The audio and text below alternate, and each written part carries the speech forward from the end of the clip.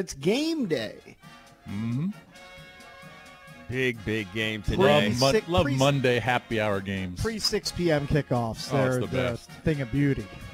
Now, here's the thing. We were talking about it for most of the first hour of the show today. Uh, in a lot of ways, you can almost say the season kind of hinges on this one for Washington if they want to keep pace with the Giants. Uh, big win over Seattle yesterday, which really puts Washington in a hole here. Now, the good news is, as we've talked about, Pittsburgh coming off a short week uh, with that Wednesday game against the Ravens. Um, but they are undefeated. They're scoring 28 a game. And even though Washington's doing some things well, they certainly got their work cut out for them. Uh, they've got their scoring ad- average up to 22 points per game. Alex Smith is playing, uh, I would say, solid. Um, Washington's three and two in their last five. Maybe the biggest surprise has been the emergence of Antonio Gibson. Right? He's been a huge factor for them. Uh, I, I, I think Cakes, uh, you, you may know sort of off the top of your head. What's he average? About four, four and a half yards per carry, something like that? 4.6, and you know he's coming off the obviously his career highs in just Washington smashing Dallas on Thanksgiving. He had 20 carries, he had Mm-hmm. 25 touches. He was targeted seven times in the passing game. He had three touchdowns. I mean, he was he was the focal point of the offense. Right. He's- So he's going to be a key uh, factor, I'm sure, for for Pittsburgh. Pittsburgh's going to they're going to obviously going to try to slow down Gibson. Right. That'll be probably their number one goal. Um, and then they're going to get to the quarterback. I mean, one sort of calling card for Washington's defense has been their ability to pressure the quarterback. I think when you look at them statistically around the league, they're about fifth in sacks. So Washington has 36 sacks, which is actually actually tied for third. But you know who's first? Pittsburgh. Pittsburgh, yeah. So it's going to be a big challenge for Washington's offensive line, which I thought going into the season would be a huge sieve for Washington, but they've performed admirably. Um, Morgan Moses has moved around. He's played much better than he did last year. Brandon Scherff, uh, if you look at Pro Football Focus's uh, ratings, I believe he's in the top five uh, for guards for how he's played. And Chase Roulier is up there too, also playing very well, rated highly. Uh, I think even Schweitzer it has played admirably too when you look at sort of how he grades out with Pro Football Focus. So that's going to be the key right there. How does Washington's offensive line hold off those monsters for Pittsburgh that can pressure and get to the Well, I think part of it is, is going to fall on the, the running backs eh, as far as quick pass catching out of the backfield. I think you're going to see an uptick in McKissic's involvement today because, as you mentioned, you don't want that pressure coming down on Alex Smith. And what's the quickest way to get the ball out? Get it to McKissic, get it to Gibson.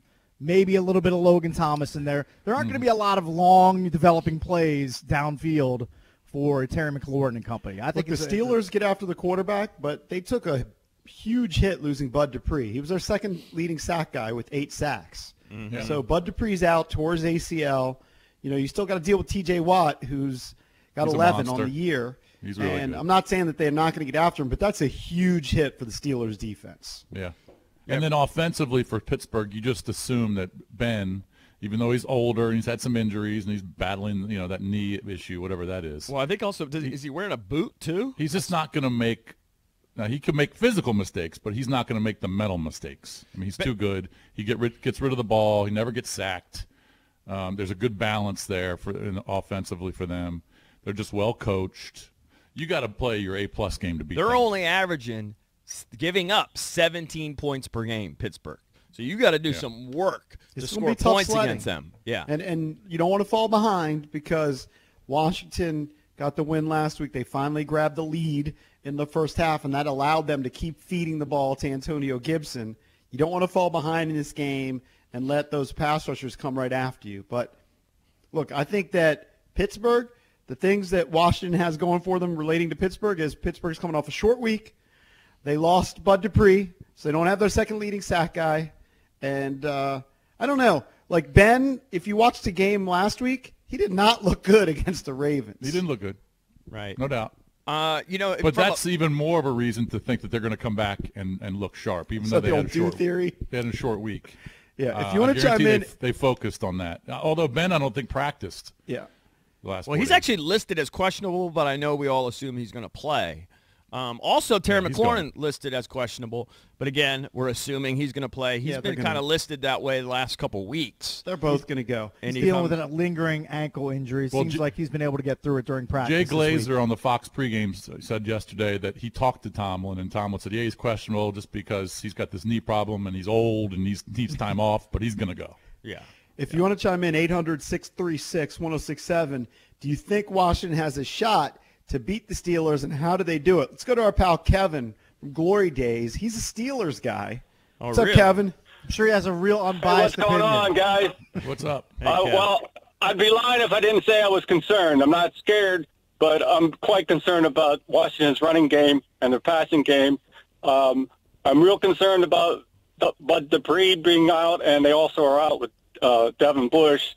And they gave up a ton of yards both games against um, uh, Baltimore. Um, I think the only thing they have going is Tuitt's coming back.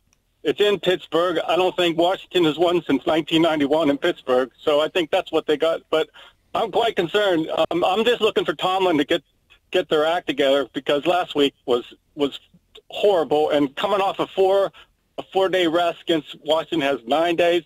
Um, yeah, I'm I'm concerned. Two, it's the other defensive end who's got, I think, nine sacks. I have So, a uh, couple uh, betting angles for you. For you, uh, we touched on this earlier in the week, Mm-hmm. uh, but since the start of the 2019 season, Washington is two and five straight up and against the spread against teams from the AFC.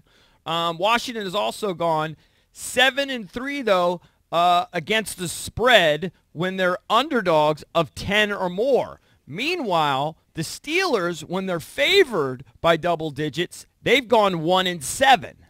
So against the spread. So I don't know what the number is right now. Last I saw was about eight and a half or nine. It's dropped to six and a half. is it dropped that much? So it's Yeah. nowhere near what it was earlier in the week. Um, yeah. No, no, no. Yeah, it's dropped. A lot of the money, seventy-one percent or seventy-two percent of the uh, public money coming in on Washington right On now. Wa- By the way, do you want to a nugget Yeah. from our friends at BetQL? Yes. Ron Rivera's teams have gone 13 and 2 straight up, coming off a double-digit road win in his career. Right. Who, who, J, J- Drabby, can you find the uh, J.P. Finley nugget? He tweeted it about how Washington does after they score 40 points. That was a, a dreary nugget. It was not. I not think one. it was that they lost their last six times. yeah, it's something gross. We're If going to you have could J.P. find it- Finley on, by the way, in 10 minutes. By Yeah. the way, also Ron Rivera's teams have gone 45 and 21 against the spread, coming off of a road game in his career. That's good. That's that's really good. Uh, let me see. The under is seven and one cakes in Washington's last eight games versus a team Under's with a winning record. It's also 3-0 and 1 in the Steelers' last four games overall. So what is the total right now? 42 and a half. Yeah, Shocker, I picked the over on the Fatties on Yeah, you Friday. did. I You need a did. points bonanza tonight in, in the Steel City. This I don't know. Since Alex t- has taken over, and clearly the offense has picked up. Um, you can even see statistically they're now averaging 380 yards per game since Alex took over versus an average of 325 before. So even though Alex isn't putting up big numbers, he did that one game, right? What did he pass for? He had 390. yeah, 390 in that one game. You think he Um, bragged about his 390 in the locker room? I doubt somebody it. whose name I won't mention. You think Right. he hyped it up? uh, just and Anto- remember it's been a dog year in the NFL. Big It time. has. And Antonio Gibson, who we touched on earlier, uh, is averaging five yards per carry. And let me see, he's got seven scores since Alex took over. So a lot of his production has gone way up. What is kind of disturbing, and I know we know this sort of intuitively, but it really is shocking when you look at sort of the breakdown of the distribution. So Terry McLaurin's got 102 targets, right? And he should, right? He's their best, arguably their best player, uh, most explosive receiver. After that, the next highest receiver with targets, targets? is now not counting Logan Thomas, right? Probably who's a tight end. Right, a wide receiver. Well, yeah, I'm talking about the wide receiver Oh, okay. is Dontrelle Inman with 28 targets.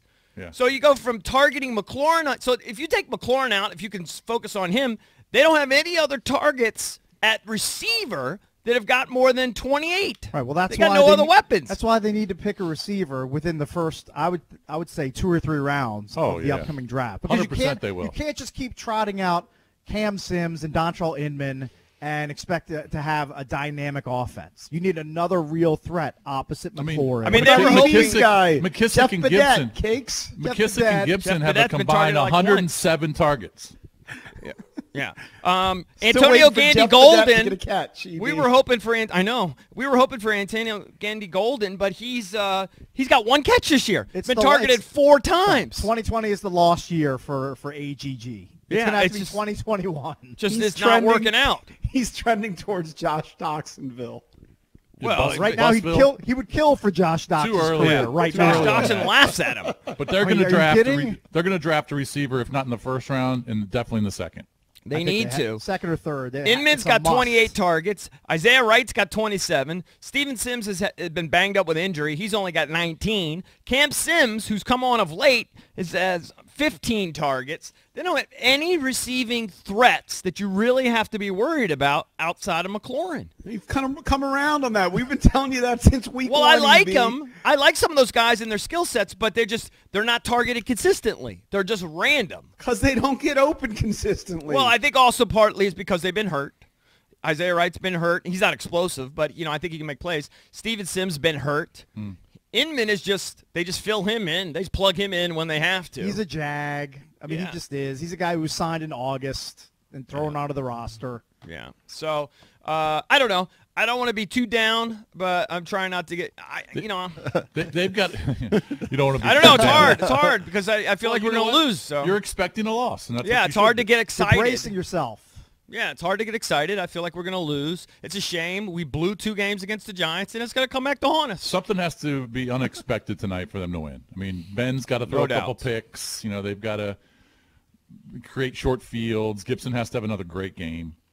Maybe Uh, they could maybe they could pressure you know Ben into a quick throw, and somebody can jump a route. and, Remember you know, my Jimmy Friday- Moreland can run back in for a pick six or something. My Friday bold prediction: getting to the over re- basically is going to require each team to have a defensive score. I I just feel like That's Chase your Young tingle has to make. play. It's my so tingle you think it's going to be a low scoring dud tonight? No, no. I think it's, I No, picked he- the over. the over. I'm No. over the number.